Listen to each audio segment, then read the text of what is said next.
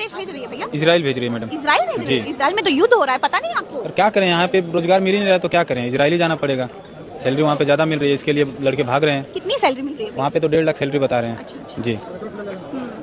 बड़ा मुश्किल डिसीज़न लिया है आप लोगों ने। जी मुश्किल डिसीज़न तो लिए हैं, पर क्या करें अभी? बेरोजगार हम बैठे हैं घर पे। कब से आए हो यहाँ बनवाने के लिए अपना कागज़ पत्र? हम तो कल से आए हैं। कल से आए जी। आए कहाँ से हैं? गाजीपुर से आए हैं। गाजीपुर से आए हैं। और यहाँ पर डर नहीं लग रहा है डर डर के क्या करेंगे? पैसा वहाँ पे मिल रहा है यहाँ इंडिया में तो कुछ मिल ही नहीं रहा बेरोजगार बेरोजगार बैठे हैं सब लोग। अच्छा घर परिवार वालों ने क्या क्योंकि उनको तो पता होगा की इसराइल में तक सब कुछ चल रहा है। उन्होंने आपकी शादी हो गई भैया? जी शादी हो गई अच्छा है। एक बच्ची है चार महीने की। चार महीने की बच्ची छोड़कर जा रहे हो इसराइल? क्या करेंगे? पैसे के लिए कहाँ कहाँ आदमी चले जा रहे हैं? हम तो इसराइल ही जा रहे हैं। तो बीवी ने क्या कहा आपकी?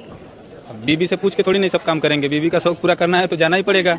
नहीं लेकिन डर रही होगी। जी डरने को तो सब पूरा परिवार डर मम्मी पापा तुम्हारे? जी पिताजी नहीं है मम्मी है। अच्छा। जी।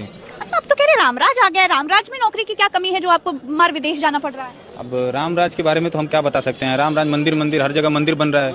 कहीं ऐसा कंपनी बन जाता जहाँ पे सब लड़के इसराइल जा रहे हैं वहीं जाके अगर काम करते तो भी अच्छा रहता। कितने साल के लिए वहाँ जाओगे?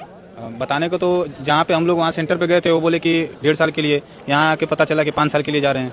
पाँच साल के लिए घर परिवार छोड़ करके इन सबको इसराइल जाना पड़ रहा है, सिर्फ़ इस मजबूरी से, क्योंकि जो जो ढोल पीटा जा रहा है रामराज का और जो ढोल पीटा जा रहा है करोड़ों रोज़गार और नौकरियों का, उसकी सच्चाई ये जानते हैं, ये भुगत रहे हैं। इसीलिए ये लोग सब अपना घर परिवार छोड़ करके इसराइल जा रहे हैं।